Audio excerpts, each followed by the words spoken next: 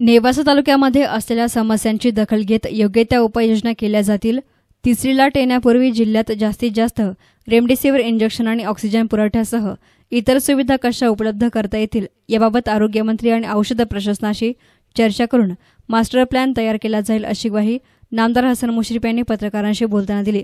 नेवासा येथे नामदार हसन मुश्रीफ यांचं आगमन नेवासा पंचायत समितीमध्ये झालं. त्याप्रसंगी झालेल्या आढावा बैठकीच्या प्रसंगी राष्ट्रवादी राज्य उपाध्यक्ष माजी आमदार पांडुरंग अभंग पंचायत समिती सभापती रावसाहेब कांगुणे उपसभापती किशोर जोजार पंचायत समिती सदस्य विक्रम चौधरी बाळासाहेब सोनवणे जिल्हाधिकारी राजेंद्र भोसले तहसीलदार सुराणा तालुका आरोग्य अधिकारी डॉक्टर अभिराज सूर्यवंशी आदी याप्रसंगी हजर होते. सर्व उपाययोजना करत असताना आणि दुसरीला टोचरेपर्यंत जनतेनं सहकार्य करण्याची भूमिका घ्यावी अधिक गर्दी न करता घरामध्ये राहून साखळी तोडण्याचा प्रयत्न करा असं आवाहन करण्यात आलं.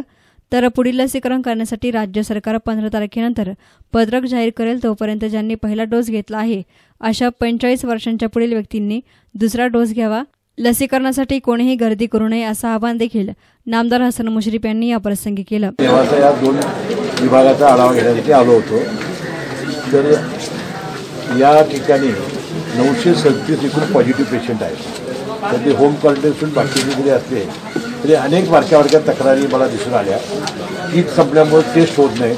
आर टी पी सी लवकर रिपोर्ट मिळत नाही. म्हणजे रेमडेसिवीर इंजेक्शन बाकी जिल्ह्यांना मिळते आपल्या जिल्ह्याला का मिळत नाही.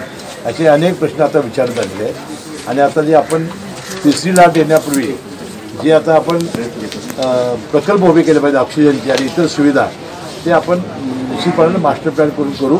आणि इतर ज्या आता तक्रारी आल्या आहेत त्याचं निश्चितपणानं आता मी आरोग्यमंत्री आणि अन्न आणि औषध प्रशासन मंत्री टोपे आणि सिंग यांची चर्चा करतो आणि या जिल्ह्यात जास्तीत जास्त रेमडेसिवीर इंजेक्शन मिळवून देणं ऑक्सिजन वेळेवर मिळवून देणं आणि कसल्याही परिस्थितीत जर पेशंट वाढले तर त्याची व्यवस्था कशी करता येईल?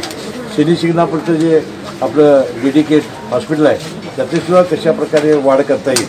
आणि त्याचा उपयोग कसा करता येईल? हे सुद्धा आम्ही लक्ष घालू. आणि दुसरी जी लाट ओसरेपर्यंत सर्व जनतेने सहकार्य केलं पाहिजे. अशी गर्दी जर आपण करायला लागलो तर हे वाढणारच आहे. म्हणून आपण घरात राहून थोडी कशी साखळी तोडता येईल जनते कर्फ्यू कसा करता येईल याची काळजी घेऊन सहकार्य करण्याची आवश्यकता. मला सांगितलं की लस ही ज्यांनी पहिला डोस घेतला त्यालाच द्या. म्हणजे प्लस पंचेचाळीसच्या पुढं ज्याने पहिला घेतला त्याला दुसरा घ्या. प्लस एटीच्या पुढं पंधरा तारखेनंतर राज्य सरकार आमचं जाहीर करणार आहे कसं घ्यायचं ते. विनाकारण तुम्हाला कॉल आल्याशिवाय तुम्ही जाऊन लसीकरणावर गर्दी करू नका. आणि हे गर्दी केल्यामुळे पुन्हा हे वाढणारच आहे. तर त्याची वास्तविक प्रशासनाला दक्ष राहून या सूचना करण्याची आवश्यकता आहे.